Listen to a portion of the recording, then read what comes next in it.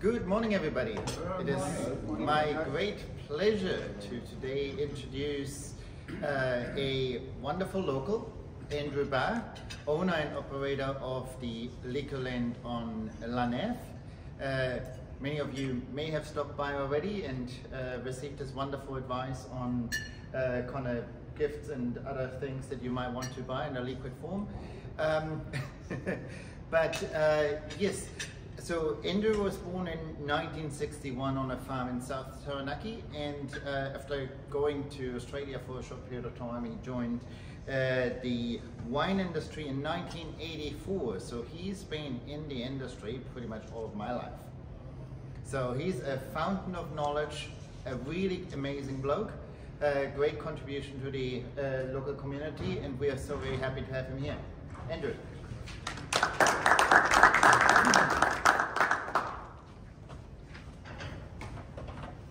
Mirko, for your, for your kind words. My mum would be chuffed, eh? Thanks very much for the opportunity, guys. Um, yeah, it's been an interesting, interesting ride up until today. So, born in South in South Taranaki, grew up. Uh, my surname is Barr, and I grew up on a, on a sheep farm. My dad converted to um, to dairying, when I was 12 years old. So it was quite interesting. We, we were not only one of the few Protestant families in the um, in the community, we were the only, only, only sheep farm as well. Um, then my mum went on to become the um, head of uh, music and drama at the local high school. I was there, so at a very um, young age, I learned how to, to um, run more than 50 metres pretty quickly and what have you. It wasn't easy being the teacher's kid, you know, so that's right. It's who I credit for um, being able to negotiate a sale and talk to people. So it was um, yeah, an interesting, an interesting upbringing. The point I wanted to make is, man, wasn't the world different then? So many things that we take absolutely for granted to um, today, and, and just working through the, the bio today, you know, things that are um, different, the impact on um, on uh, technology, uh, phones, laptops, you know, yada yada yada, e-commerce, power steering. Do you remember, when that when power steering came in? I remember when power steering and someone had to explain air conditioning to me. What you got a fridge in your car? Well, that's some neat technology, you know. And then radios that would actually select a, a channel for you. That's just incredible stuff, you know. And now we're just bamboozled with uh, with new stuff that's coming through all the um, coming through all of the uh, the time. Um, it was interesting when I was, as I was the teacher's the teacher's kid, I pretty much rejected education. I, I just passed five subjects in um, in school C. I failed UE, and um, I started retailing at Para Rubber when I was 18 years old. Um, I've always been a very deep, uh, very deep thinker, and I sat down at the end of one night after work over about eight months and I've been working hard all day. I was very, um, very striking in my shorts and my board shorts, my, my shorts and long, uh, long socks and sandals. Remember that, boys? Yeah. Wasn't that, wasn't that fun? Um, and I sat down with a pen and paper and I worked out that I was uh, 19 years old. I'd have to say for 20. I'd have to save for 20 years to buy a car that was 30 years old. And I thought there's got to be something better. Um, and I had an uncle uh, who lived in Australia, so I, I, um, I moved to uh, Oz in, um, in 1981. I was very fortunate. I, I became a, a, Pizza Hut uh, trainee manager and I uh, cooked pizza happily for, for three years. And that was really good because it, it taught you how to think on your feet. Um, it was, it was a, a great bit of experience because you're dealing with large numbers of people, and it literally was not, not like a KFC pressure cooker situation, but it was. There's a lot of people coming in, a lot of um, working with expectations, and that's when I really learned about how you've got to deliver on customers' expectations. And I'll never forget the time there was a um, there was a guy coming with his girlfriend for a meal before um, before the movies, decent looking, decent looking uh, guy. Um, sat down at the um, sat down at the meal, placed their order and what have you, and you guessed it, the kitchen managed to muck up the pizza order. So I was the, I was the duty manager that night. So I walked out and I said, uh, "Good evening, sir. I'm Andrew. I'm the duty manager for the evening. I'm very sorry. We've um, we've mucked up your um, your pizza order." And he just went ballistic. Said, "Oh, for God's sakes! It's the third time that's happened on this. I hate coming here." I said, "Look, just calm down, mate. If you if you got somewhere urgently to go." I can get you a pasta meal out here in about um, about five minutes, but the um, the pizza's going to take you 15. And he stood up and word for it, please excuse the language. He said, mate, you can stick it up your ass. And I thought, my goodness, how am I going to deal with that? I genuinely inquired, inquired, and I said, sir, would that be the would that be the pasta meal or the pizza? the reaction for the restaurant told me that it was a good way of diffusing the situation, but that's when I learned, hey, you've got to take something seriously when you're dealing with, uh, you're dealing with, um, with customers. The other one that, that uh, that's hit home recently, and it was when I when I first put my store down at um, at uh, at Takanini. And um, if you ever want to see a slice of life, I suggest you start retailing in South Auckland. It uh, it was fun and games. Um, group of young guys came in, dressed to the nines, what have you, Wednesday, and I said, my God, you boys, you look fantastic, you know, what's going on today? Very happy. And one of them said, well, as it was Dad's funeral, we thought we'd better dress up a bit. And I thought, hmm, there are a lot of drivers for people coming into a to a liquor store, so let's make sure that we uh, we don't let customers we don't let customers down. Um, in my presentation, I said that I was going to talk about a number of um, I was going to talk about a number of uh, points. Uh, my topic I, I, chose was delivering beating hearts to surgeons.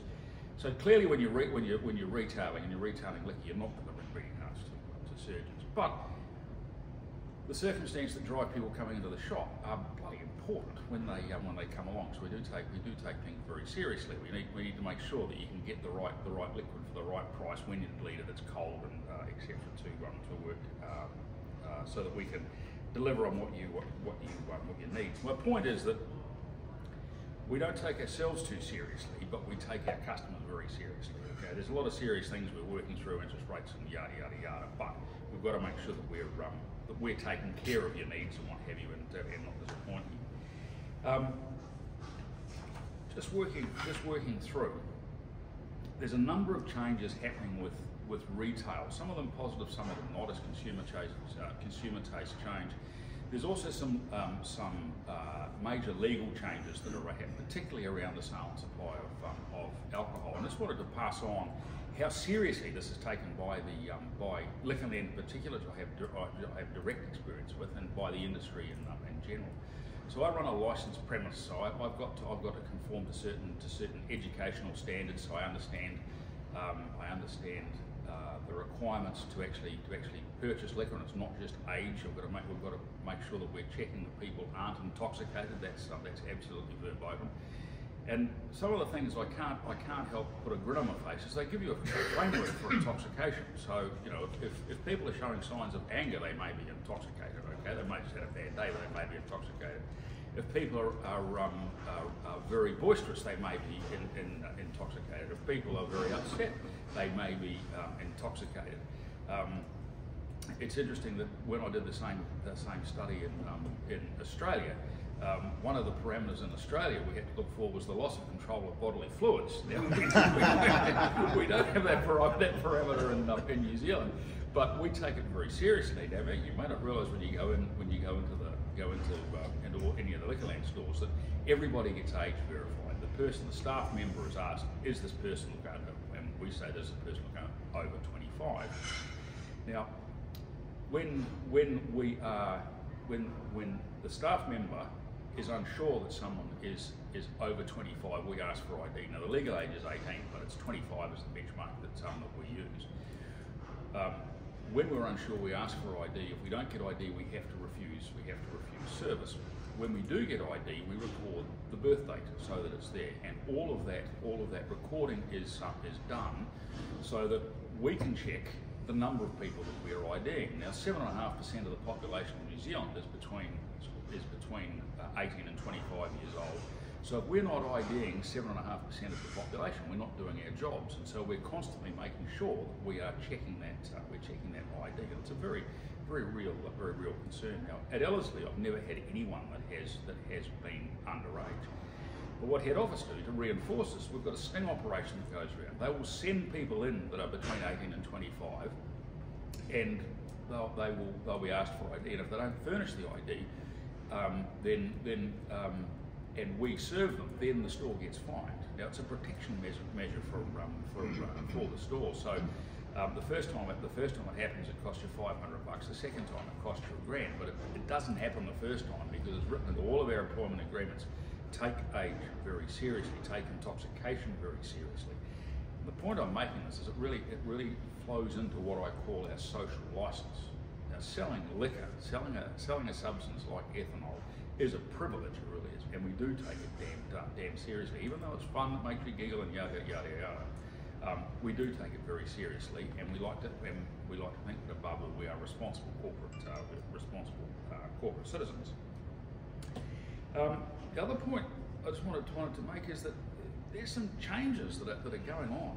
Um, the Lunn Avenue store is quite quite interesting when you compare it to other liquor stores or other Liquorland stores as um, as well. When I designed the store, I designed it after running a store in Takanini for, uh, for uh, two and a half years. And Takanini, 30% of my sales were, were RTD, 20% were rum or beer, so half of my business was coming through a chiller. 30% was, uh, sorry, 35% was wine and about 10%, sorry, 30% was full strength spirits and about 10% was, um, was wine. So I designed the store, the great big chiller and what have you. I've turned around and what's happening in this neck of the woods is that, that beer is becoming a very small part of people's alcohol repertoire. So I've got one product in the store that's Pals. It's an RTD. Now, all due respect to um, to Pals, it's a very popular drink, but it's a it's a, a, a, a, um, vodka-based um, fruit-flavored drink mixed with soda water that I find quite light on flavour. People say it's low in low in calorie. That one product delivers more sales for me than Heineken, Steinlager, Speight's, uh, any Lion branded product combined. It's just phenomenal to see to see that, that the, uh, the, the consumer chase, uh, tastes are, um, are changing at the rate that they that they are. And it's a good thing that younger people coming through are drinking are drinking less alcohol in in total, but they're drinking more premium and they're drinking different uh, they're drinking different drinks. Certainly to the drinks that I that I um, first uh, grew up with. I mean, one of the the big the big drivers of making alcohol uh, more consumable has been sugar. And this is really what's driven the RTD uh, revolution that started very early in the early 80s. Um, how do you make a, a drink a more uh, more drinkable? You add sugar to it, you sweeten it, you mask the flavour of you mask the flavour of the um, of the alcohol. So RTDs came along, quite sweet RTDs like um, like vodka cruise and what have you, uh, have uh, have come along, and they're very, very drinkable drinks, but they don't actually taste too much like alcohol. And it's almost a concern to see that the amount of the, the amount of those that have been selling that are a full-strength alcoholic beverage that are more alcoholic than, um, than beer, that are being seen as a healthy alternative to beer. But but you know people forget that people dwell on the fact that the uh, that the um, that there's low sugar in the in the drink, but they forget the biggest driver of calories in any in any um, liquor is alcohol. By its very definition, any stored energy is a calorie. And so people say, I'm drinking, I'm drinking this drink or what have you because it's a low sugar drink, therefore it's better for me. But they forget the fact that it's five or six percent, and there is stored calories in it to um, to do. So um, health and life and uh, lifestyle and well-being is one of the huge drivers of um, of consumption of, of the beverages that we um, we have, and it flows right across all. Light tonics are very very uh, are very popular with um, with gin. Low alcohol, uh, sorry, lower alcohol and lower carb beers are, are the only beer categories that are growing. All the premium beers um, um, and craft beers are actually static and slightly and slightly declining. A because of price, but B because of the perception of beer is bad because it's, it's, it's got sugar and most of all it's got carbohydrates. It's it's it's changing the market. Now before I started, I should have I should have made one um, should have made one point abundantly clear. And as this is as this is being recorded, I have to reinforce this point. What I'm presenting to you this morning are my opinions. Okay, I'm not here on behalf of Foodstuffs. I'm certainly not here on behalf of uh, of Liquorland. This is uh, this is the opinions of Andrew Barr after a lot of years of, um, of retailing. Um, and I'm just I'm just reminded of the um, of the words of my of my dad. He he was he always used to say that opinions are like bottoms. We've all got one, but it's a silly man that bears them in public. Okay, so, so they're my views. I'm certainly not presenting a view on the um, on the industry that has come from. Yes, there's some industry knowledge and working with people, but it's not that's not based based on anything that's uh, that's uh, that is a, uh, a foodstuff a foodstuff view. Um, surviving ram raids. These are a bugger. They really are. Ram raids, ram raids, and I've had three at the um, at the store. I've had th- it's been trading for um, two years and three months. Three ram raids and two and two uh, break-ins. This is a this has been a really confronting situation to um, to work through, and I just wanted to, to, to, sort of bring you on the journey that I that I went through with um, with ram raids. First of all, I set the store up, and I completely focused on making this as visually as appealing as I um, as I could. I find it interesting that after working for, for almost 20 years in, um, in corporate, um, I uh, was in the situation where I was able to be made redundant for a role, and I thought, great, I'm not happy with the news industry, I'm going to bugger off back to Australia and be, um, and be happy. But I thought, no, there's a couple of questions I've got. So I went to university for a, for a year. Now, I was the oldest student in the room, and I find it, found it absolutely fascinating to be actually studying consumer behaviour, the drivers of, of, um, of retail purchase, what, what spins customers' wheels, and how we create the, the, the right environment for, um, for retail. So I used a lot of that science when I designed the store. So visually, it was great. I didn't realise that all of the lighting would actually attract ram raiders as well, but it certainly did. So um, you know, we were set up and um, and and, uh, and ready to um, ready to go. Um, so the first time that I was for, um, that I was hit with a ram raid, it just it just exposed to me exactly how um, ill prepared we were in a, in a security sense. We weren't set up with the right right number of bollards, etc. And so you know we were we were absolutely right for the um, for the picking. Um, and by the time we had the um, by the time we had the um, the second ram raid on the 17th of, of September, we were a lot more we were a lot more prepared um, than after the first one. But really, having it was only six weeks after the um, after the first one that it, that it happened. It was still it was still a hell of a shock. And I don't know if you if you Google me and you'll, you'll see some of the footage I was on TV. And yes, I was that bloody shocked. And I've, I've now learned to brush my hair before I go on TV. It was a, a shocking morning to be uh, to be part of. Um, but it was really the process after the ram raid that, um, that, that, it really that has really had the, the, the most lasting um, impact on me. The first of all was was that um, I realised the psychological toll that it, um, that it takes. Because I was angry as hell. I really, I really was. And I had a, I had a temper like that. It was, you know, and I, I thought, what's going on? I was busy and I'm working a few too many hours and I've had COVID and whatever. But it was really the whole concept of someone coming in and just taking stuff away with, um, without asking. I thought, well, okay, we'll get some counselling for that. We understand that. Okay, put that into, into perspective. But then I went through the restorative justice process and it reinforced to me just how under-resourced we are as a um, as a society to deal with this um, to deal with the problem. Because I met the crims that did the um, the second the second ram raid. Now the first one was a, was a kid that was 14 years old, and it was pretty much every stereotype you've seen in um, you, have seen on TV. Uh, 14 years old, poor education, struggled at um, at school. One of six kids. Mum was 32 years old. Uh, one of the one of the parents was in jail. Like it was just, it was just a, know, it was, it was a train wreck. You can see waiting to happen. He had, he had four representatives in the room from a from the local local um, marae, the local um, uh, um, the uh, police and defence were there, as, which was good. You know, it was a 14 year old kid after all, working working through uh, working through that situation. It was just confronting to see yeah, this kid was um, this kid was uh, on a track that wasn't going to be um, wasn't going to be particularly good. And I went in angry and what have you, and we should lock them up and you know, da, da, da. Hang on a second, the kid's 14 years old. You know, I made a few mistakes. I certainly knew not to steal at 14 years old. I knew not to steal at at, um, at two years old. But uh, 14 years old, there's a few there's a few drivers that are um, that, are, that are causing that are causing that. I right, well, um, this is uh, this isn't good enough. So uh, when they when they said to me, you know, what sort of uh, compensation do you seek from the, from uh, for the uh, perpetrator of this crime? Well, the kid's 14 years old. Come on, the compensation I wanted is get him back to school. Let's get the things going. Get him into a footy team. Try and get. Excuse me. The things that I took as normal back into there, but then you realise that it's not normal for people. Okay, so I dealt with a 14 year old, that was a, that was a tough one. Then I'm the 18 year old. This was, this was a real come to Jesus. 18 years old. This kid would have been 45 kilos ringing wet, absolutely ringing wet. Talked through the situation. He was there with his, he was there with his, um, with his mum, and uh, his mum handed him a, a statement, which was, uh, which is an apology. And the first thing he says, "Mum, you know I can't read that." And I thought, bloody hell, the kid's illiterate. This is dreadful. This is, this is another bad situation that we've, um, 18 years old, he's bloody illiterate. What a terrible situation to, um, to, to be in. So uh, we worked through the we worked through the uh, the meeting, what have you, and this profound apology and what have you, most of which I um, I believed. Um, and uh, once again, they said, you know, what sort of compensation looking for? And I said, well, simple, get the kid in school. Let's get some education to start with. Let's get that basis what have you.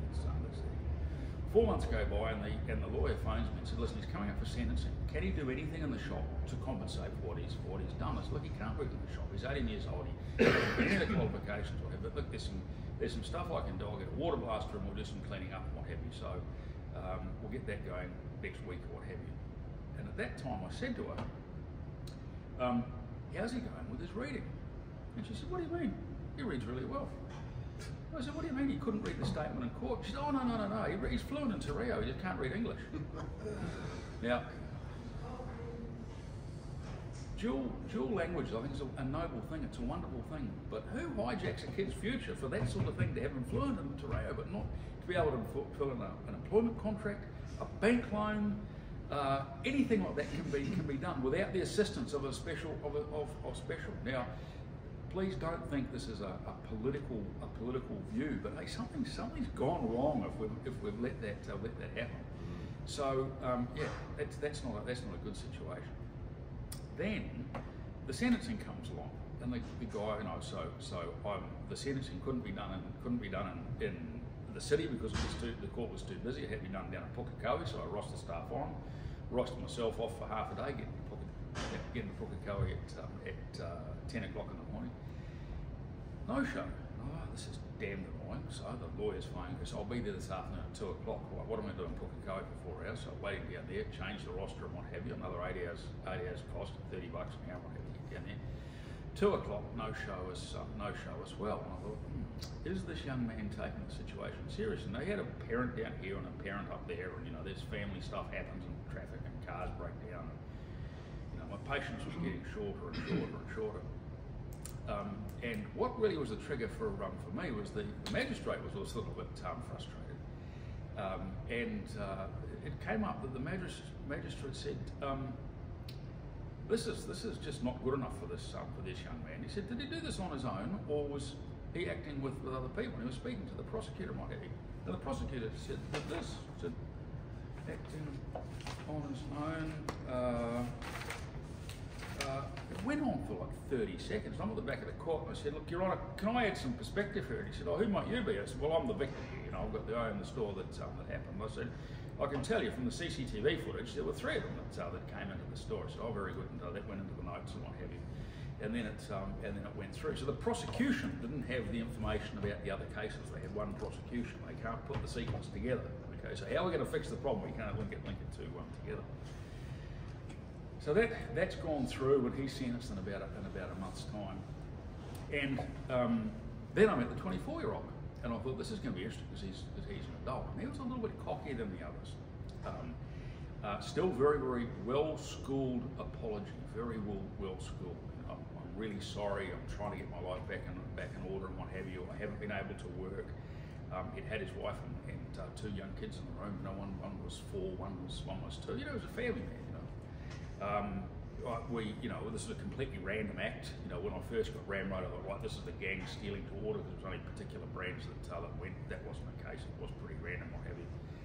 Um, and you know, I'm very, very sorry for um, for, for what went on. And you know, it was a, it was a stupid thing to um, thing to do, and it, and it was a completely it was. And he used the term. He said it was a completely random act.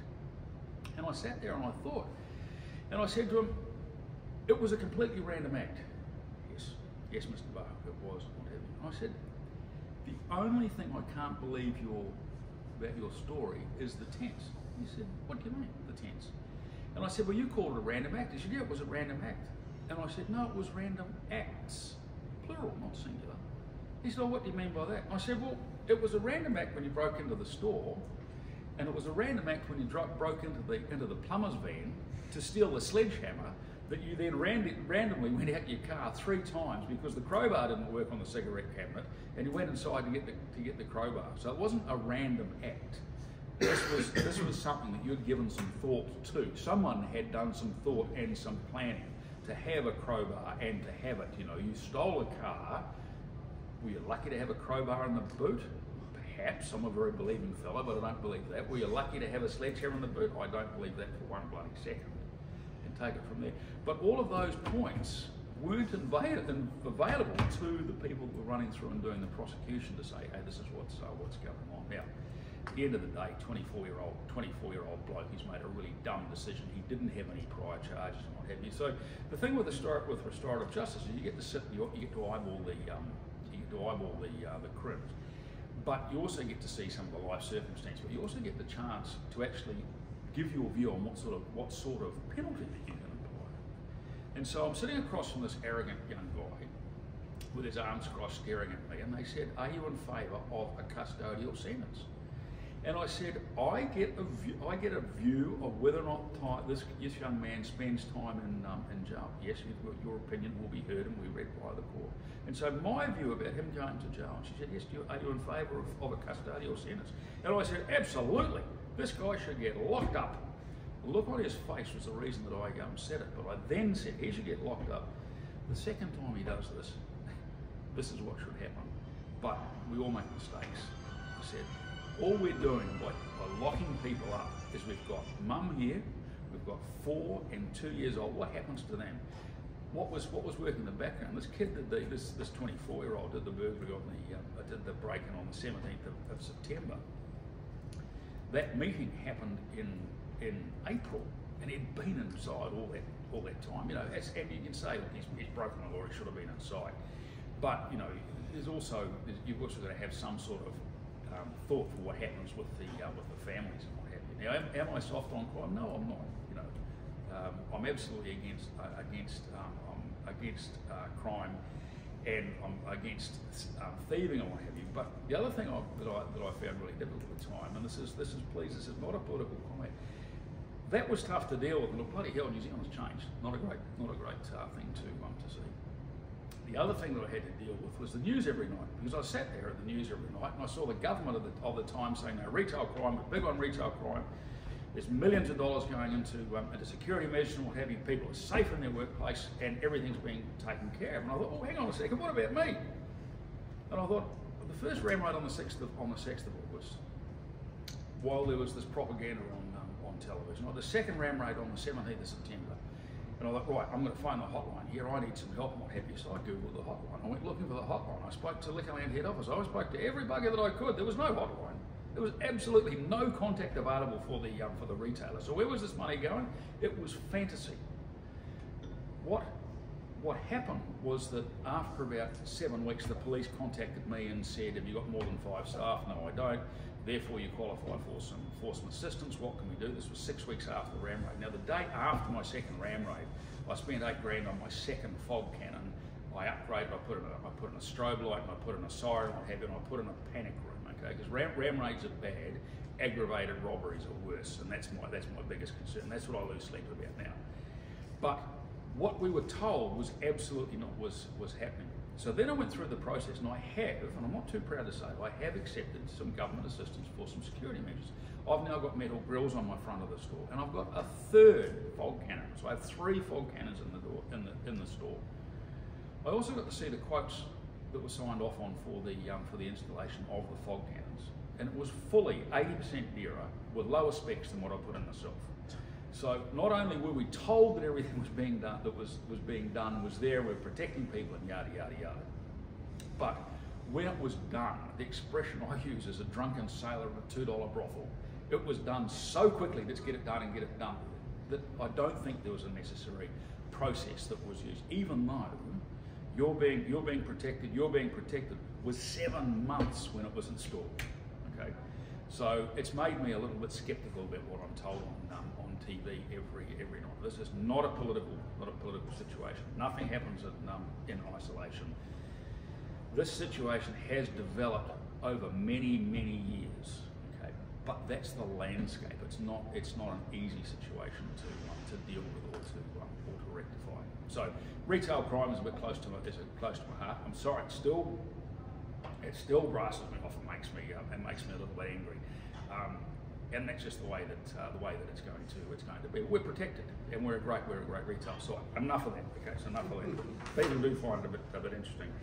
Um, liquor retailing I've spoken about. Ram raids, working with food stuff, go foodstuffs. Um, the poor old grocer in New Zealand has been getting a hiding in the uh, in the press, and yes, there's a lot of money, a lot of money um, tied up in um, in grocery retailing in um, in New Zealand, and it's easy to once, a guy once gave me a, a, great piece of advice. It's easy to stand on top of a hill and shout at people. It's much different when you're standing alongside a bloke and talking to them. I've worked with foodstuffs now for, for over 20 years, and I've worked on both sides of the counter. I've been the supplier. Been. I worked for a major corporate. I've, I've been into see foodstuffs when their products had more than 15% market share. I've been into the foodstuffs when we've got tiny little brands that we're, um, we're doing. And I can tell you, they are hard They're absolutely hard, and they let you know what the processes are. But the guys, the guys act in a way, and the way that I've, the way I always, I've, the question I've always asked myself when I'm dealing with a negotiator, is this person behaving differently, more unfairly than I would be in that chair? Now, I can honestly say with foodies, I, I don't think so. Yes, they're hard, they've got a job to do and they drive price and they are, they are a profitable organisation. But they're not dishonest, they don't misuse market, market power, um, and they do other things for New Zealand that, that I think get lost on the, um, on the community. Um, and one of the, it's one of the great differences. I lived, I lived in Australia for around 20, 20 years. I, I, I bloody loved it, I really. One of the big differences with Australia and New Zealand is the location of the population. They're very coastal centric and what have you, and they're a way more urban society than uh, what, what, uh, what we are. And a lot of it's to do with the way the economy is shaped. Now, like it or not, we've got a huge part of New Zealand's GDP tied up with about 10,000 individuals, dairy farmers, okay? Now, thank goodness those farms are located from, from Kaitaia to, um, to Bluff. So we've got the wealth of New Zealand spread right through the, through the country. It's one of the big, the big differences. And this is also similar to the to the grocery market because those people those people all eat and so we've got those businesses. Now with foodstuffs, we've got independent businesses, the guy that owns the store, the guy that owns New World or Pak'nSave runs the store. So all of those businesses have got services there. They've got accountants, they've got tax accountants, they've got auditors on the tax accountants, they've got auditors on the tax accountants auditors, they've got banking specialists, they've got all sorts of support services, what have you, that are behind each one of those businesses opposed to the corporate model with Woolworths. Big head office, everybody on staff and what have you. Now you can say, hey, that's a way more efficient model. Or you can say, hey, there's a whole lot of jobs spread throughout New Zealand that make a difference. So when you go to Feilding and you deal with the field local footy team, who's going to be who's going to be the treasurer of the footy club? Who's going to be the people that have got real professional, um, who've got professional training in the um, in those um, in those communities? Who are the people that can contribute to the fabric of New Zealand? Those are the, those are the people that are employed in services and what have you. Now, that's one of the benefits of the foodstuffs model. The guys that own the store runs the store. Now in Liquorland it's slightly different. You can own you can, you can own multiple sites. I've only got I've had two Liquorland stores and as much as I find music in a spreadsheet, I find no joy in it. I love running one running one store.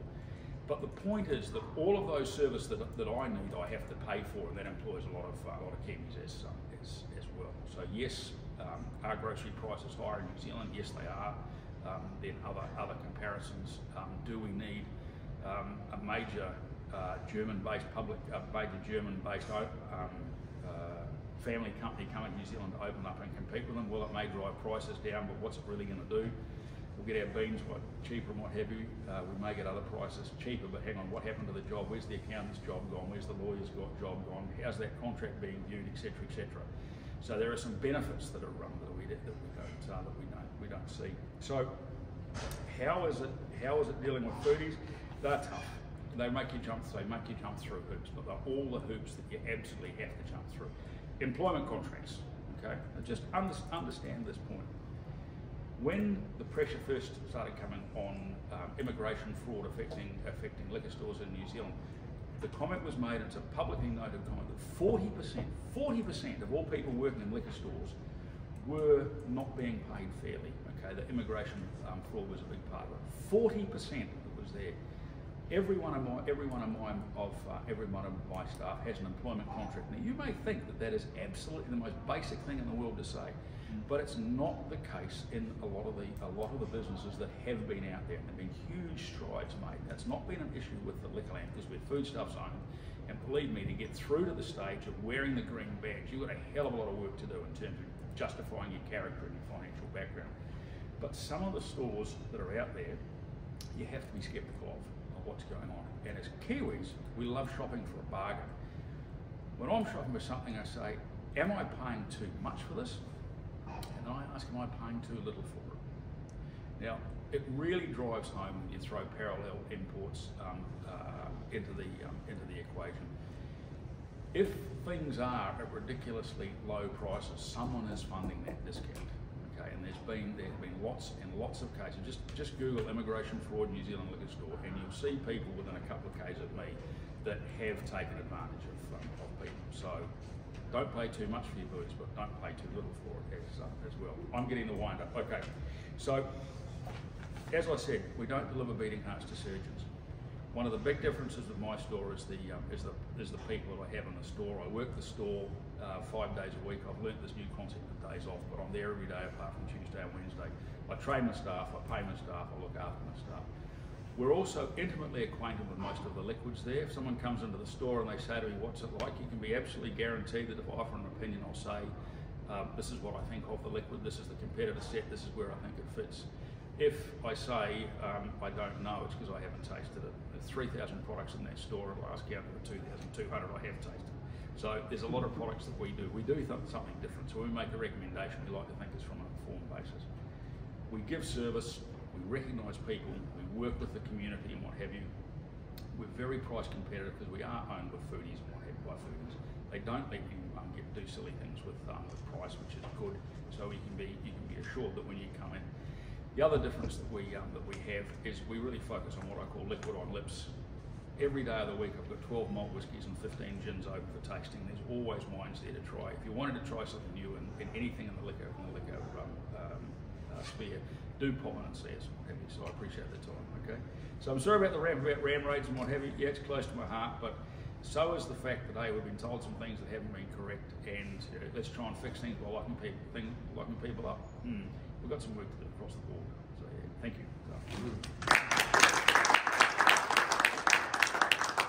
Just before you finish up, any questions? I've got two. Um, my partner is a big fan of Pals. What would you say is the uh, the when when did when when did it start taking off and why? Um, Pal, Pals is a really interesting one. Um, I should know, but I don't know.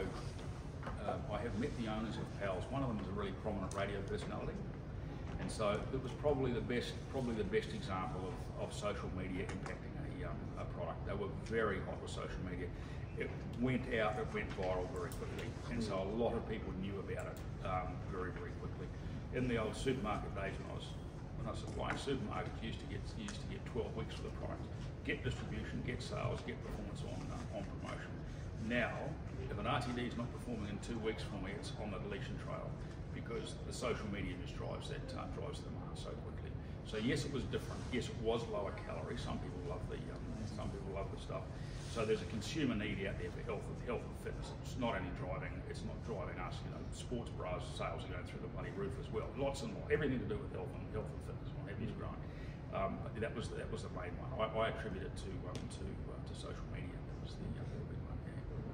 So, yeah. Second question then. I don't know if I should open up that can of worms, but um, if you were given the opportunity to um, uh, make the rules and um, to Ram Raiders, what would you put in place that you could see that would end that entirely? Because it doesn't seem like a it doesn't seem like a really good experience, the one that you just went through.